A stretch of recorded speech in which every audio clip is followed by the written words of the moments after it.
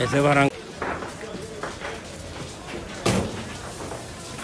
¿Y dónde están los bomberos?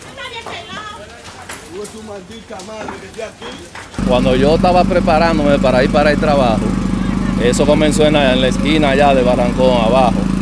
Cuando los muchachos me llaman y, y yo veo el, siento el humo, salía en auxilio también. Comencé a ayudarle a los vecinos, a sacar de aquí de los míos y etcétera. Pero se perdió demasiadas cosas. Ya- Bueno, al gobierno que me ayude porque yo tenía todo mi, todo mis ajuarios ahí, todo mi, mi cama, mi todo y se me perdió todo. O sea, que ustedes están en la calle.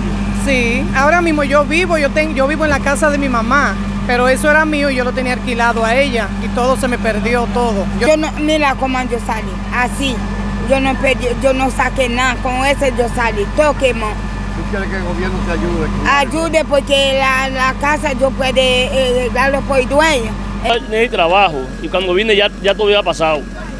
La suerte que los, los- los vecinos y todo el mundo me han, me han sacado todo. Ustedes lo perdieron todo. Todo, todo, todo.